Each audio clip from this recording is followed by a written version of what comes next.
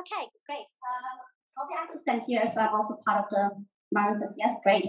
Welcome everyone to our fireside chat of our month April. I'm really delighted to see so many familiar faces as well as new faces joining us today on the topic how to collaborate with a corporate as a tech startup with our guest speaker Ken Cui and our host Ross.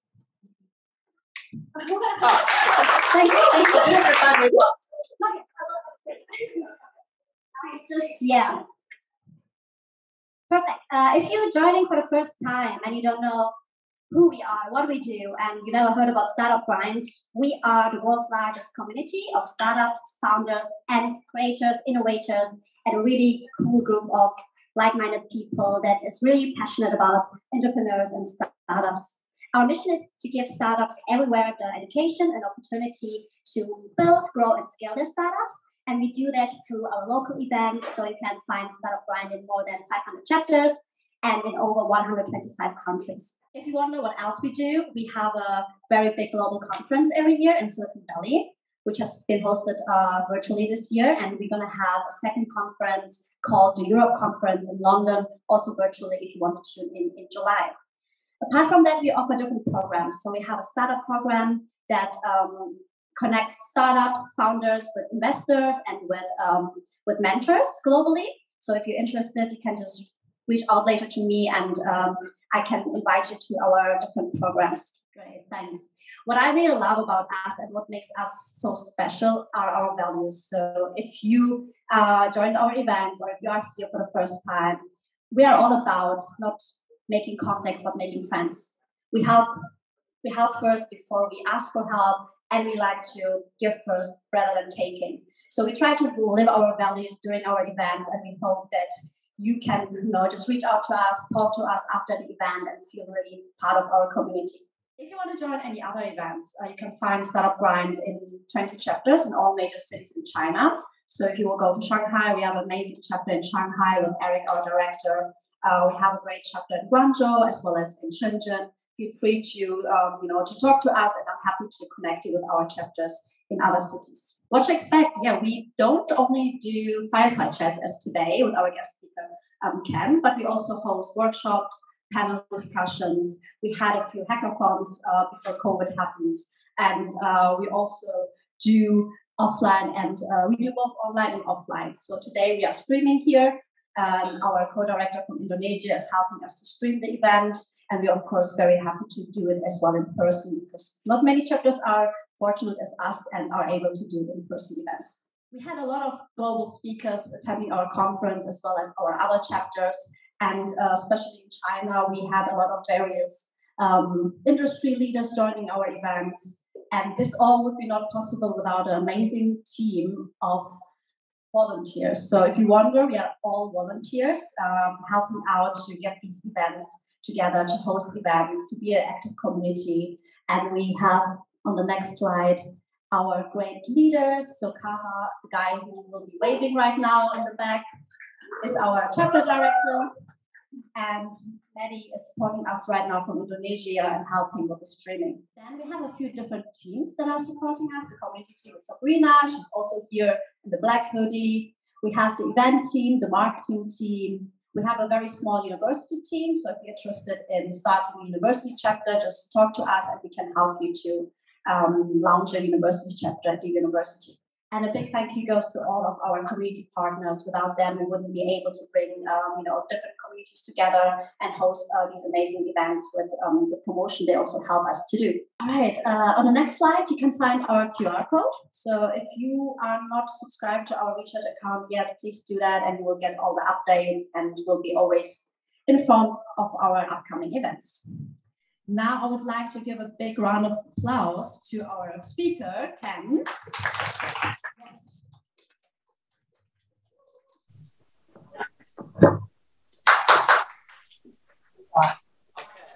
So first of all, I would like to say a big thank you from our side, from the team, and I, I can say for sure from audience side, we are really grateful to have you here tonight. And, and uh, yeah, I think that gets started. And um, previously I was checking your experience and background, and I was quite surprised to see the like diverse background that you have. You grew up in Japan, then you moved to China back, and then you studied in Tsinghua, you launch a lot of things, but how have you actually landed in automotive industry with a specific focus on the innovations?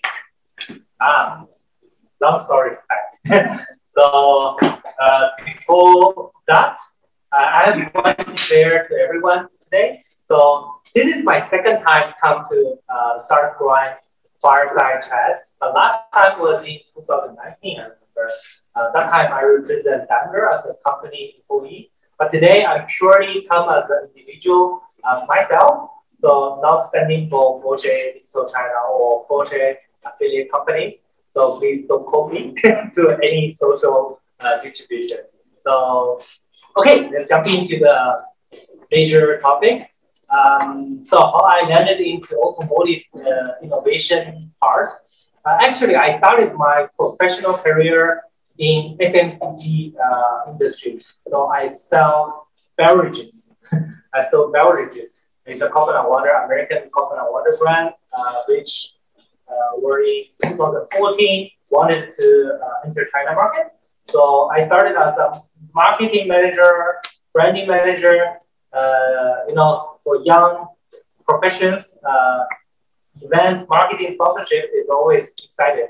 So that's my first period of professional works. But uh, coincidentally, uh, I learned HMI design in Tsinghua University back in 2010. So in that time, it's very, very rare people really uh, studying in this industry and knowing what is user experience, what is human machine interactive. So by 2016, I got a chance from my old study from old fellow from Tsinghua University. He already joined Daimler Group. Said, okay, uh, Daimler is doing innovation, shaping the future. Uh, so would you join us to do something just like we did in the laboratory back to Tsinghua? I said, okay, that's cool. I already get, get sick of marketing and branding, so I want to grow up. So it's a very, very coincident uh, chance for myself to jump into automotive industry. So the first uh, role for me in uh, automotive was a product owner, or, or let's say you can understand like a product developer uh, or product designer for that. But only one or two cases, my boss and my superiors find out compared to develop products, I'm more better um, developing the networks, like communities, startup facing the tech giant. So they gave me a huge, uh, how to say, assessment that can build up the innovation networks for us in China, in China for China. So that's why I took the challenge. From end of 2016, uh, I kind of the uh, the startup guy inside Daimler Group. So in China, in China. So that's how I jump into the automotive innovation area. And recently you were starting actually working with Porsche, right? Yeah, just just this month. Yeah, just Okay. this month. Okay, cool. So am I right that previously you were mostly scouting startups, right? Specific focus on gaining startups and corporate. And um, I would like to know, for example, as a scouter, um, uh, you search for thousands of startups, but how can you actually have the feeling of a certain startup needed? How do you know? You mean the uh, Yeah, it's search, yeah, okay, fit for corporate and uh, the corporate needs a certain startup. Yeah, uh, from corporate side, uh, uh, one add up. So I'm not only work for corporate for the past few years, uh, I also work for startup. so I, I was in, in personally to jump into startup work to be a startup middle management person uh, in time sharing mobility business. So it's a brutal business. you know, every day if the, the revenue doesn't exceed or doesn't reach the certain level, that means the next day we have to lay off people.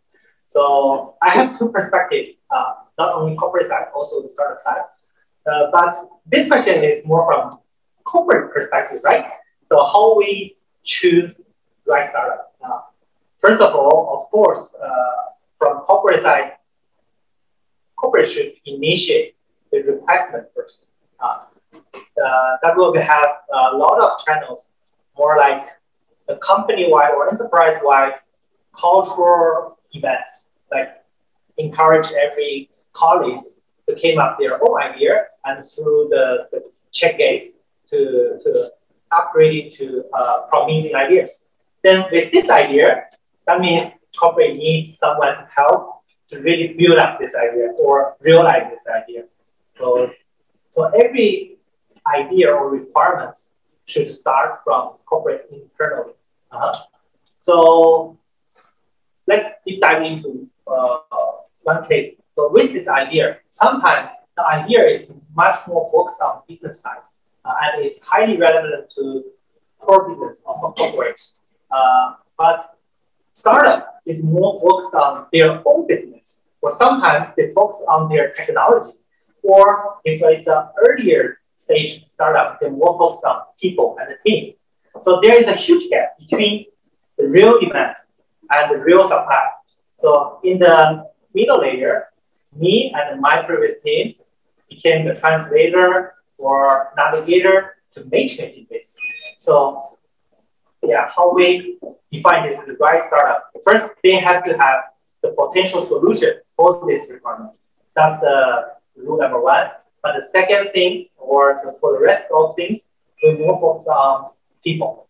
So working with corporate is a hard job, uh, uh, long time, long time communication. So startups should have uh, first patience, uh, patient, be also the how to say the, the, the sustainable or consistent, yeah, consistent motion to dealing with these complexities. So the people, especially the founder and the core team, they are very, important uh, that they can get along with this long process. So first, A, the technology, the solution, the service, the product should potentially match this requirement. But B, is all about people. So as long as I have an idea, but I, for example, if I don't have people, but I have an idea, can it be considerable by corporate? Not at all. Not at all. That's true. That's not an answer. Yeah. Okay, but from like besides all of these things, um, we probably know that um, most of the startups they want investment, right? Um, either in any other things that actually should be like a founder should be focused on besides the investment to to provide to corporate, as you just mentioned, for example, team or maybe like mm, the solution, right? Uh, anything else besides that? Or is only these two main ingredients actually make you successful, right? Mm. Uh, because of my experience and my practice, I always focus on the earlier stage startups. That means all be, before we run seriously. Uh, so I'm not sure how corporate investment team working like a merger and acquisition, they more look into the, the later stage. But from my knowledge, working with earlier stage startups, uh, they are quite lack of, let's say, uh, corporate function related stuff like legal, risk management, uh, and uh, IP. Uh, those are stuff uh, that really drags the, the, time and also misunderstanding each other. So that's something tips for start founders. If you are earlier stage startup and you got a chance to work with corporate, then make sure your foundation, your corporate functions are stable uh, uh, uh, uh on people. so that's one tip. And secondly, I've, I, I faced several cases that startup technology is promising, the people are really matching, and potential projects are there, but startup cannot grab it. Why? Because their, let's say, the product productivity or the production uh, capacity cannot match what corporate really needs. Uh, especially in automotive industry, that means one commercial contract uh, requires very longer period of capital uh, capital uh, in, in, capital injection, and also you have you also need to have a very, stable and uh, sustainable supply chain to provide products to the corporate. But a lot of startups, at least in early stages, they cannot meet this requirement. So means millions more, uh, or hundred millions, sometimes hundred millions order is there, but you cannot grab it uh, it's very pity, very pity. Um, but maybe direct direct collaboration, uh, beside of direct collaboration with corporate, for startup, you can also build up your, how to say, partnership chain to tier one, tier two, or tier three to be one of them.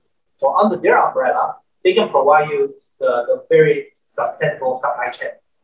So that's two tips uh, for startup who want working with corporate in the future. Okay, but this is a more mostly I would say double tips. But for example, as I'm a early stage startup, okay, I know about the things. Um, let's say I'm a promising startup, right? And I'm a cool guy and I don't have an idea, but I don't have money, let's say for that. How should I attract um, companies' attention to me? Could you give us some tips, like from the bill, practical tips, like how to attract the companies, how to attract their attention, where should I go, or who should I talk to, or something like that? Yeah. Mm. Of course, there are many, many ways to approach to corporate, but corporate is huge. How to find the right people, that's really, really difficult. Uh, so, uh, how to say, luckily if you get some brothers or, or insiders, that's good. He or she can ask around, say, who might will be the right interface or be the person to get into the right business line. So build up your buddies inside corporate, that's one. and also participate more and more event-based, uh, event-based, let's say, accelerator or open day or something to be bold on that.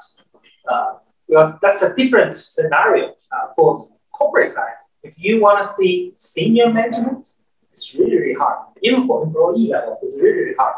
But once you talk to, uh, once the innovation day or open day happens, every senior management gather around, gather together to one day, one space, one time. So be bold to, to apply for that open day, get a one booth, get all the marketing materials ready, and go them talk to the, the biggest guy. I think that's one way, one quick path for startup to get attention. Uh-huh. But of course, after the event, it's like after the party, uh, you have to have the strategy how, how to follow up and how to stick on that potential highly interested topics. So again, back to build up your body inside corporate. Yeah. Okay, cool. Um, so it's all about network, right? Network, yeah. Okay. Oh, one thing I know, uh, to participate more and more Startup Grind. That's good, man. it's a good place. Uh, but let's say I'm still a cool guy and I have my idea, but I'm not from China and I want to actually as you as an expert actually of bringing startups to this area with your experience, coconut water, right? Um, what are the main um, problems that actually face by startups entering the market? And uh, yeah. You mean a foreign yeah, brand, foreign, foreign brand China, or a startup, yeah, coming to China. Oh, uh, I landed two brands in China. What I faced, I'm not startup in that time. I work for corporate, just landing a brand to China. Uh, I will share first about my perspective in corporate side, how to land a new brand to China market. Then I will share about how to, uh, I have a new business or I have a, a proven business case. I want to enter in China. So first from corporate side, I landed one coconut water brand and also one program brand. Uh, so the biggest challenge for me is, I would say, registration related stuff. so, so uh, for beverage, you know, the customer office, uh, the company registration, trademark stuff, uh, it proved that in other markets doesn't mean you are say legally in China. So registration will be my first headache. Then talk about business side. The strategy always will be the biggest challenge. Sometimes you think one business model works in Western markets like subscription, uh, like uh, membership related business model, but it's not gonna happen in China. Not gonna happen. So you have to change the business model, like change your subscription subscription model into kind of a trial for three months, then you got a small payment on that. So the business model adjustment is also uh, very important part in strategy repositioning for China market. Then come to, okay, talk about what, what can be uh, keep uh, for brand landing in China. I think the brand GDNA or brand gene and brand story should be 100% keep. Uh, but for the China strategy and the go-to-market strategy, especially the, the sales related channel, partnership, pricing, everything should be changed. Re, repositioning for that.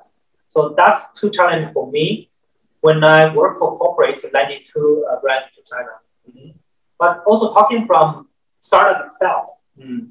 If I prove myself, no matter it's a IoT product or it's a, it's a, it's a, it's a digital service, I already proven in other market. I want to jump into China.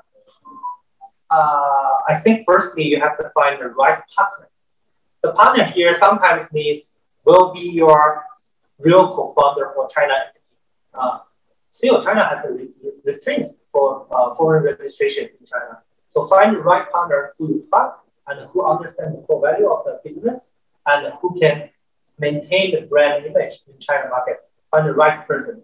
Uh, then for the rest, I, I think it will be the same, like right market strategy, go to market, pricing channel, customer related stuff. Um, yeah, partner will be the key priority. Mm-hmm. All about people. Mm-hmm. Okay, but if we just put them away for a second, uh, I don't have a partner. Uh, how should I get the feeling what is what is going to work in China? Um, being not here actually. Is there any chance without coming here and just checking the field? What would you suggest in this case? For both for both sides, the corporate and for corporate employee, I won't help. for startups, uh, for startup perspective, I must say, uh, if it's a promising model, which I can see the potential, and my resources can really, say, make things happen, then I will try to be the co-founder. But uh, this is all, say, hypothesis. I think the right way is go to Marin or go to uh, uh, go to Katan team, like uh, their official channel for foreign companies to jump into China, right? So for corporate side and for startup founder in China, I don't think they are the first choice when you have an idea want to come to China. Okay, then slowly going back to China. Mm -hmm. uh, I'm still here and I'm a startup. I'm kind of a lucky guy, so I got into the corporate collaboration um, if by chance that my idea is actually skyrocketing, but I'm still under the roof of the corporate, is there any chance that I can become independent again? And for example, go to initial public offering, or I can do so uh, even remaining under this like roof uh, of the corporate. Um, I also had a talk with one of my friends who is leading the the, the corporate CDC uh, and also innovation branch in very famous cosmetic company. Uh, last week I talked to her and she said in her industry, uh, sometimes startup really define the future. So uh, like the new product or new brand uh, or new IoT stuff, really defining the, the cosmetic future. So my feeling is maybe for fast consuming industry, like food beverage, cosmetic, daily use stuff, uh, sometimes startup can uh, define the, the, the, the, future of the whole industry.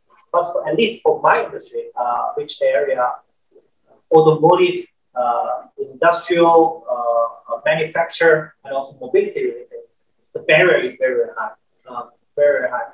So if you are a startup willing to jump into automotive industry, I think better uh, or the best strategy will be stick to one big player.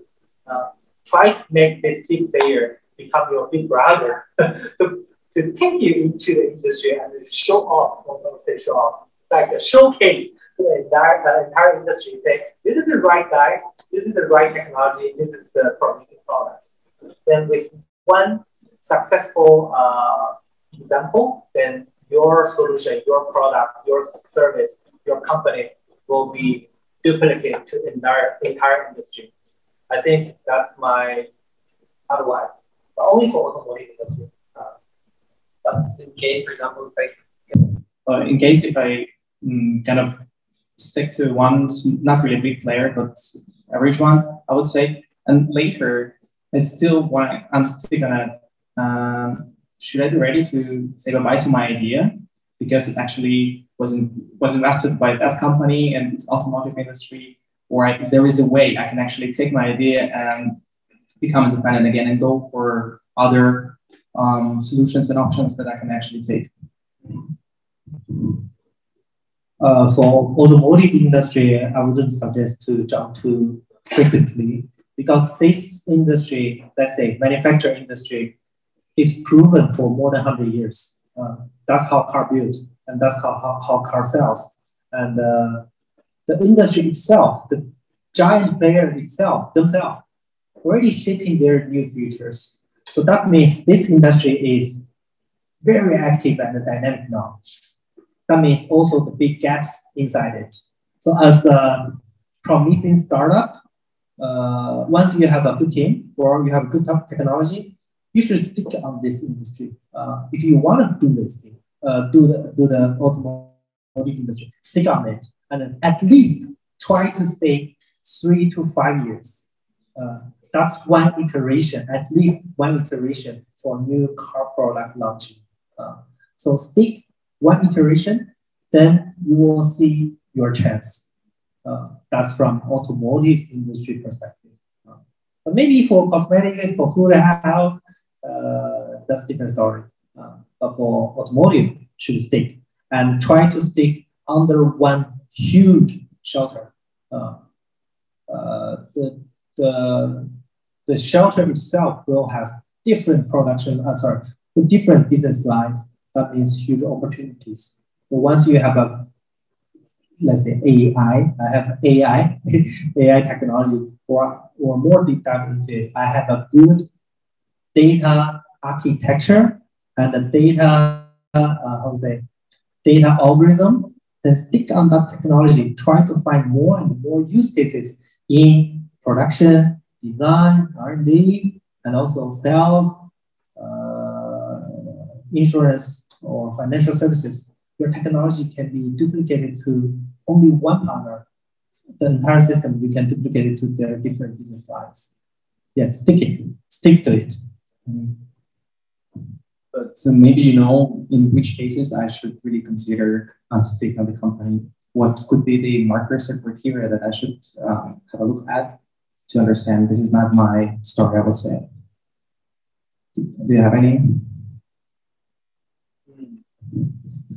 That's very specific, but generally from uh, uh, OEM side, uh, the game also is uh, is also changing now.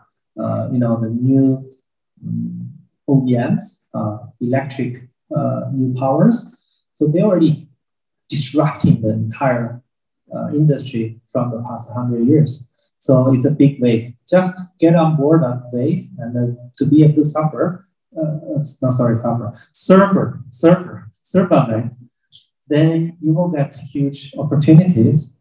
Um, uh, but if you ask me what will be the particular case, uh, I think the customer facing side uh, will be the huge uh, blue ocean for the newcomers who want to join into automotive industry. Uh, think about this. Uh, the traditional OEM or traditional automotive industry is wholesale business model that means they never directly talk to customer. But the new automotive uh, model, which happened in the past 15 years, that means getting more and more closer to customer and cost, increasing the customer engagement, creating the extension business model to customer, right? And get the customer satisfaction, uh, extreme customer experience. Everything is about customer. That means this is the lack part uh, or weakness part for traditional OEM. So if you can do a customer-facing new business, at least in automotive industry, just jump on this wave and to be a good surfer, I think you will be success. Mm-hmm. Thank you. Um, okay, then the next question would be, um, usually decisions about partnership aren't made overnight, right? So let's just imagine you're a corporate and a startup, um, and we are about to get into partnership, but it's still not yet done. Uh, how should how much time should I plan to leave this uncertainty actually before the decision is made? Because sometimes it might take months or even half a year. It depends on the case, right? But maybe there is average time that the startup should be ready to survive by himself, for example, before actually the decision is made. Again, back to patient. Patient sometimes means uh, mentally patient, also means uh, physically patient. That means you, you should have a very stable uh, operation operation to keep you can keep engage with corporate. At least from my knowledge, uh, we're creating very fantastic acceleration program, but it also takes 100 days to really get from idea to, to something tangible, right? That's 100 days. Uh, before 100 days, also another 100 days to, to scouting, to filtering. That means in total, seven months passed. Then after seven months, if you are success, that means you can got a small order to trial. Uh, so working with automotive giants still is, is huge challenge uh, for, for too early stage startup. Uh, but if you are confident in that, uh, the return will be also huge. Uh, it's a long-term supplier contract, and your technology, your product will be the you know first ever showcase on the automotive industry. I think that's uh, let's say deserve it, deserve for the patient, deserve for the lady. Uh, okay, um, maybe then from the corporate perspective or startup one, either way, um, what are the trends that you can actually foresee for coming years? Uh, again, either from general industry or the automotive industry for startups and for corporates in, in terms of partnership and future innovative and disruptive ideas. You mean the big market trend, right? Yes. Okay. Before our session uh, started, I also talked to Maria. I think a lot of smart. a lot of people ignore that uh, China has a huge consuming power is uh, is is, is, is uh, generating now. Uh, you know, in the past ten years, people always focus on the the 90后, the younger generation, that they have a insane consuming power. Uh, but does anyone know by 2030 how many elderly person in China will be increased? Does anyone know? Just guess. Okay. 700 million. 700 million. That's too much. but but it's a 132 million elder person means 55 years old above will be increased by 2030. Just nine years to go.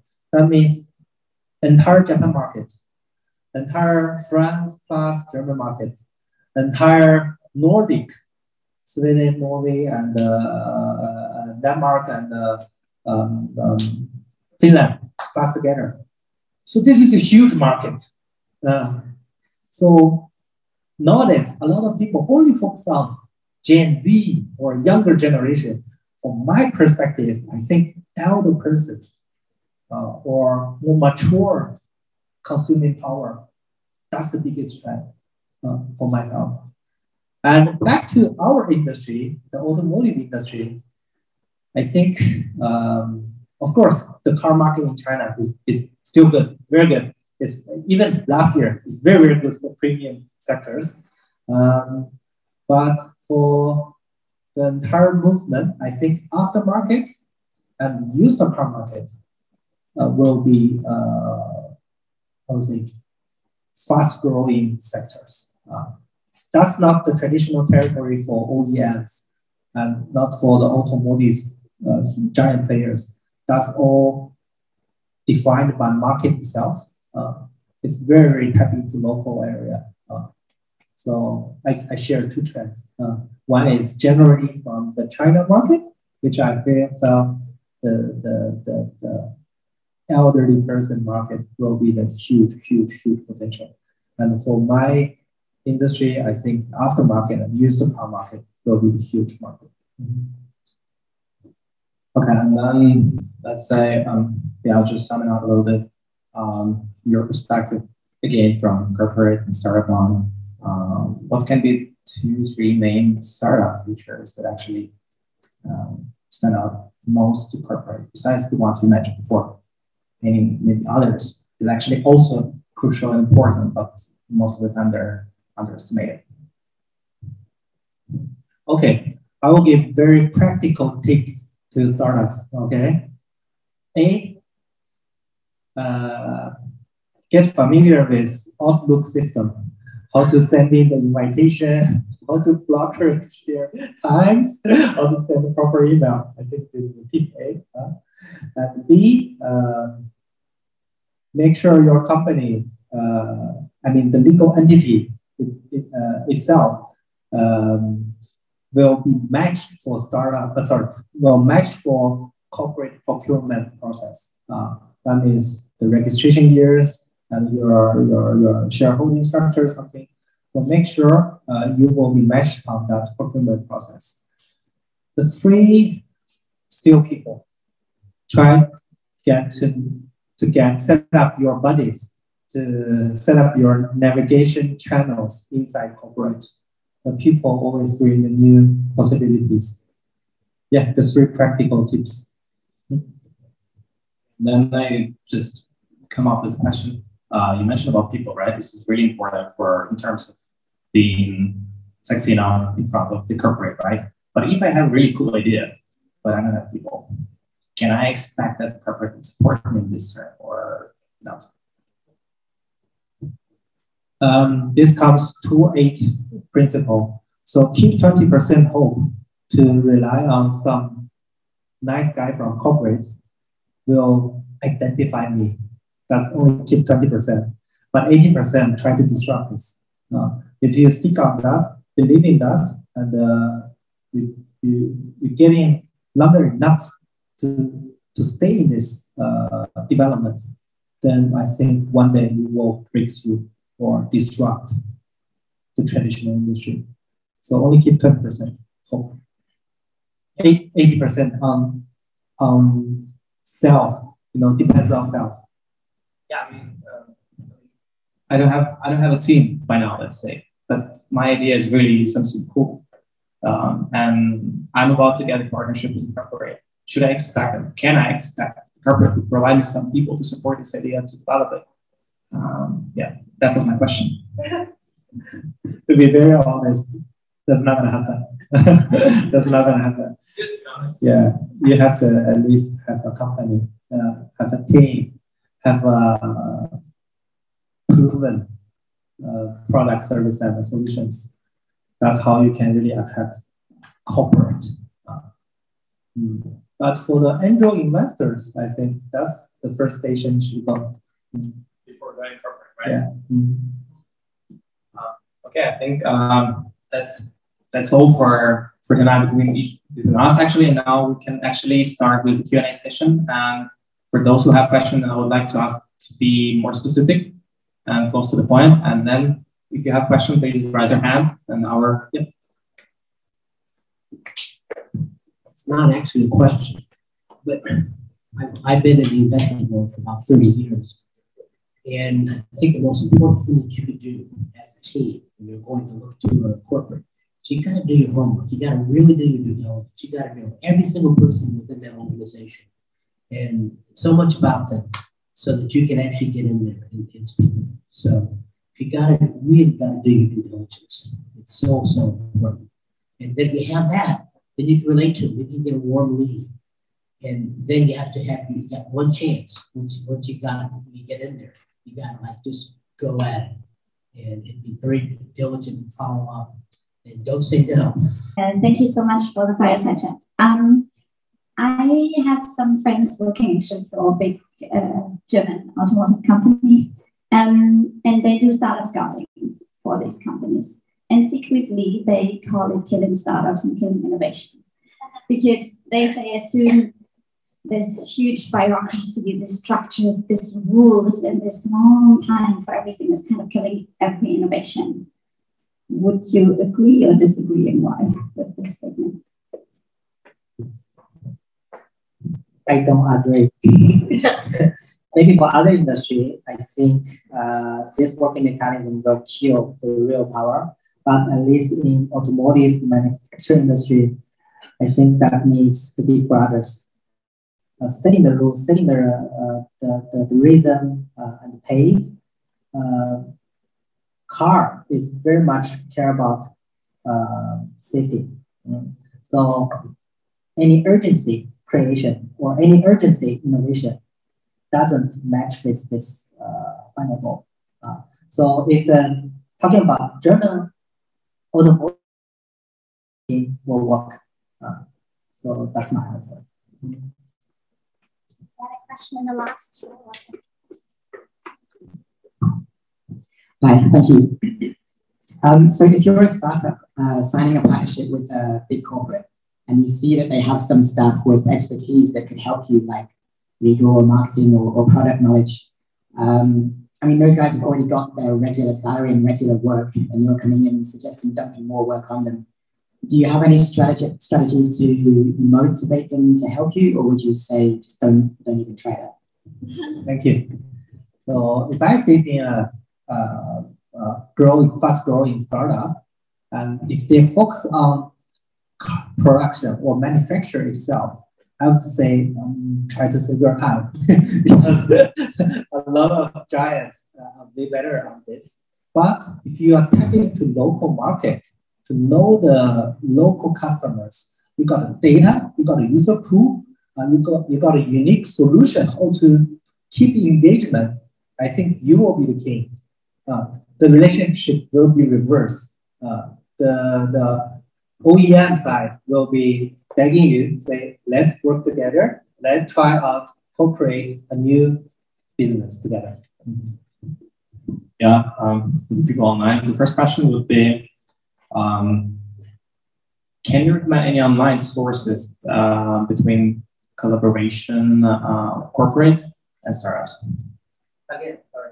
Um, any online resources can be recommended from your side between corporate and startups in terms of collaboration? Any what? Online sources. Online sources. Online sources. Yeah, that's the question. Any online sources. Wikipedia?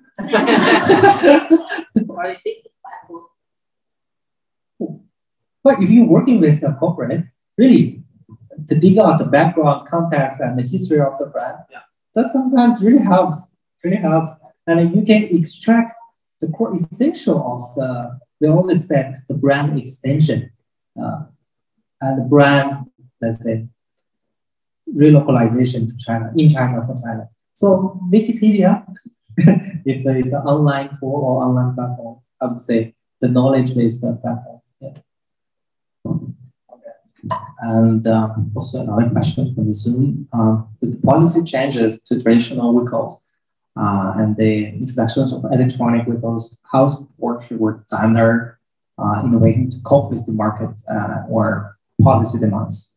Is there a, in what areas can startups collaborate with Porsche? Or uh, cannot answer this question. I'm not standing for my company today. What about that? I already left that company. But still have some experience. Yeah, so I will share it by individually. Again, the customer facing, the market specific facing product, service, and solution will be your killing features to knock knock the corporate doors. Uh, so try to get your at least your own customer base uh, or customer data, customer analysis, then that's something corporate one partnership with you, not buy you or not just uh, uh, set up as you set, set up you as a vendor. Yeah. Oh, there is a dog. Okay. It's also from Sarah Grind. Uh, but actually, the question was a little bit different. Um, in which areas can startup collaborate with a big corporate, let's say, climate? AI, I know, connectivity, something like that. Maybe from your perspective, actually, it's more wide than I know, for example. Because I know the recent trends are on AI or connectivity or uh, new new energy vehicles and stuff like that. Maybe from your side, you can give some more. AI is too wide. Uh, let's say if we divided AI to specific area, I the say nature language processing, NLP, uh, for specific market use, uh, specific uh, China use cases will be your fast track to working with big corporate, no matter it's automotive or other, because anyway, the, the corporates will change themselves into a digital company. So how to understand better the, the, the voice, the, the, the, the, feedbacks online and uh, obviously sentiment, sorry, to, to give the right feedback by machine help you. I think AI should focus on that part. Uh, that's my personal feeling. I'm not AI expert. Uh, and uh, for our industry, of course, connectivity is the huge topic. Uh, but if we divide it into uh, a specific area, I think IoT will be the right uh, field. IoT, Internet of Things. Uh, why I say that? Because China is the biggest IoT com- country in the world, and the, the, the how to say the huge capacity on delivering the any kind of IoT. So you're already in this market. Why you don't leverage these resources? Uh, so I would say IoT uh, will be also the right. This is AIoT, AIoT. Yes, put AI together and IoT, AIoT will be the right uh, field tap into that. Yeah. Okay, thank you. And I think that's all. Oh, another question. Thank you. Um, I have a question from a startup perspective. So. Allergic you guys. Okay, um, I have a question regarding like from a because we mentioned there are like certain hierarchies. You know, when I when we collaborate for startup from, with a corporate from a startup perspective. So, from a startup perspective, what are the how do I say what should I look for when I want to collaborate with a corporate? What are the things that I should pay attention or that are beneficial for me and for my startup? It doesn't have to be necessarily automotive, but like what should I look for when I want when I'm considering to co- collaborate with a corporate? Oops. Very nice question. Thank you, Sabrina. Uh, actually, I, I really want to answer this question because with my one year experience in startup, the mobility startup, I also joined a lot of roadshow events which held by automotive giants. Uh, including the German companies. so I set up booths, you know, I bring the team to showcase, to play the video, to send out the brochures, to sell myself. But only one goal behind, get the contract, uh, get the contract. A startup side, get the contract. What kind of, I don't care what kind of contract, but get the contract from corporate. Then that makes something different. Uh, with the contract from corporate means at least it's very, very on-trend uh, research area or on-trend um, uh, technology development area. That's from uh, corporate side. They, are, they can define the trend, right? Or, or in the other hand, the contract also means, uh, at least in that time, my, my company, the startup, didn't have had any automotive giant as a client to establish any kind of uh, cooperation. So for me, I will be the first guy, first team to set up startup corporate partnership. So the only goal for me and my team is to get the contract, no matter what. Am I answering the right question to you? Yeah, yeah. I mean, kind of in a way of uh, just get the contract, but also like you know when I when I'm like I don't know if there really benefit a lot of benefits of collaborating with corporate. So I'm still like considering and weighing out the pros and cons. And then you know I wanna I wanna be I'm picky. You know I have a great startup. You know so I'm picky. So you know what are the things that I you know when I can choose between corporates, what are the things that I should come start with? Hmm. Hard question. I would say if it's already good enough, it will be chosen by no matter corporate or venture capitals. Uh, and you will be busy enough, has no time to think about this TV stuff. so uh, still back to our dialogue before, I don't think earlier stage startup is the right approach to corporate side. Corporate don't have the patience. They want a stable and uh, and a mature supply from from. Yeah. Mm -hmm.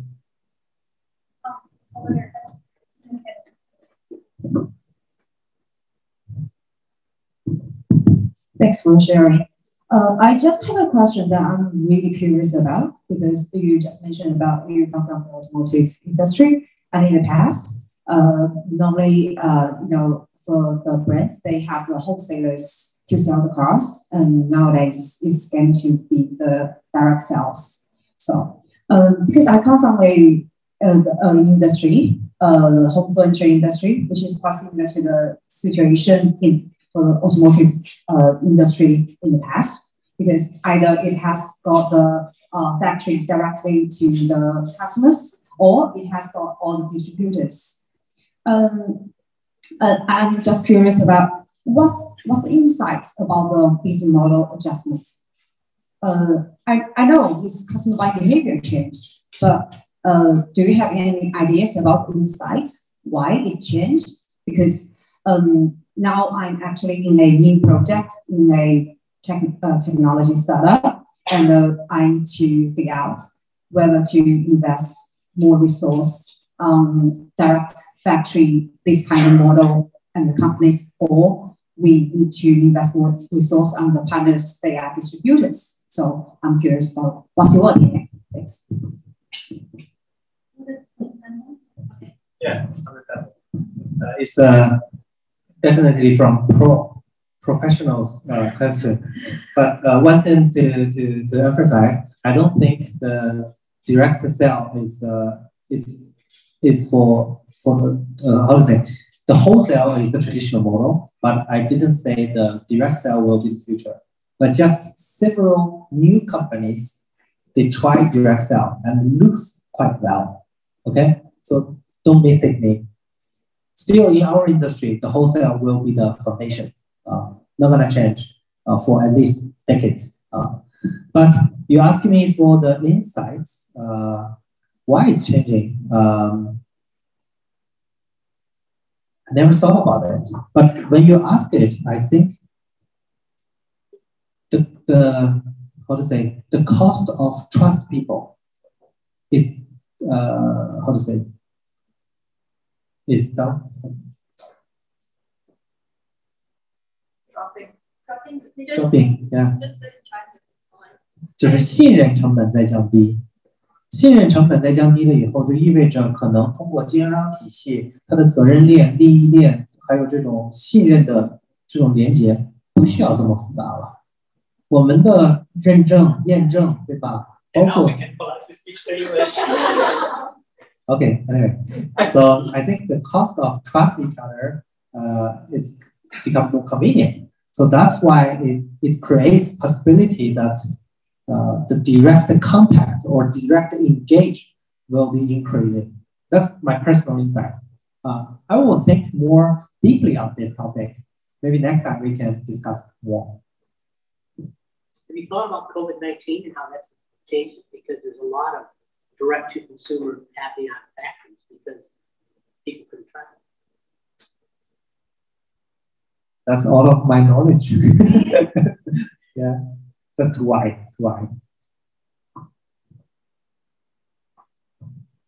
Okay, I think that's one last question, okay? This is gonna be the last.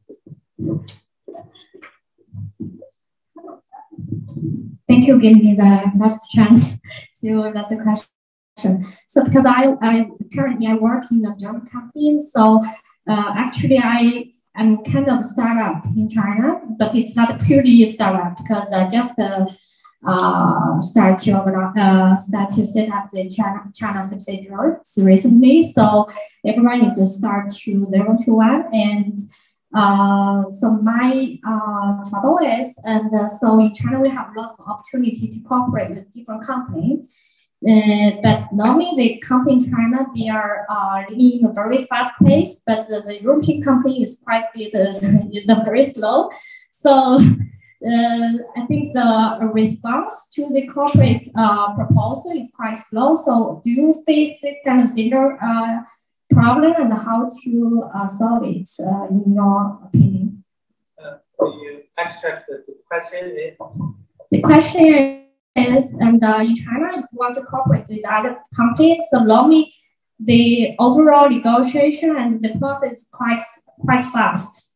But in Europe, it's quite slow. So because no, they will spend uh, uh, around one year to to uh, negotiate and also evaluate it's worth to cooperate or not. But in China, so it's uh, normally the company cannot wait so much long time. So uh, do you face this kind of similar problem in your uh, experience? So how to solve it?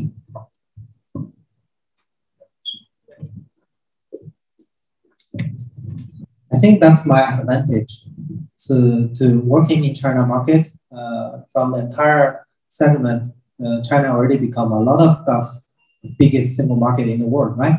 So that means uh, our headquarters should follow the local people's suggestion. So that's my advantage. I never headache on that. I always appreciate that.